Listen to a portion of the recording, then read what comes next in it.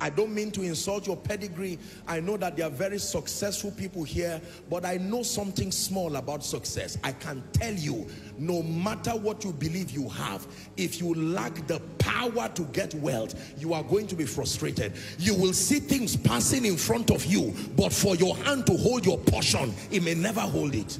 I'm saying this particularly to businessmen. Don't waste your time moving around saying, I know this one, I know this one. There are forces in the spirit that control results.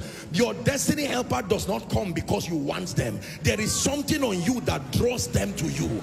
They can pass you every day you can even live in the same neighborhood you can take your they will never help you except that which is to come comes upon you Please listen to what I'm telling you. God wants to end this cycle of frustration. Oh, so, so, so, so person in government, he is my man. Forget all that story. If you believe that magically, just because you are related, somebody will help you, please think again.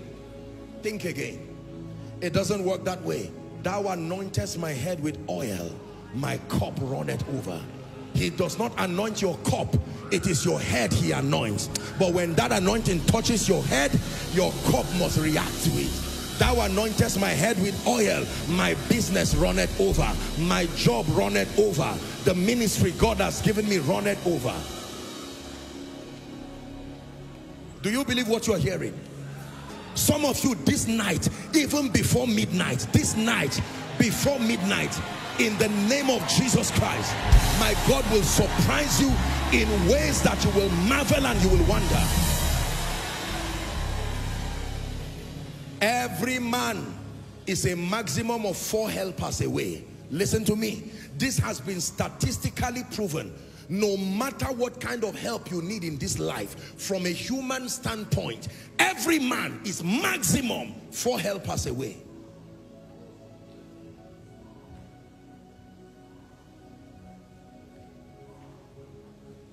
For some of you, you have struggled and there are wicked spirits that will not let you rise. Not let your children rise. Not let your ministry rise. Wicked spirits that have vowed as I brought your father down I will bring you down too.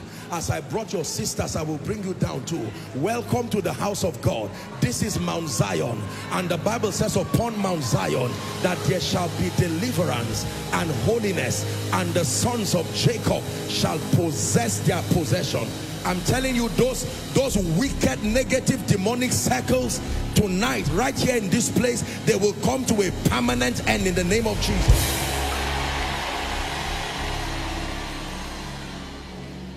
Hallelujah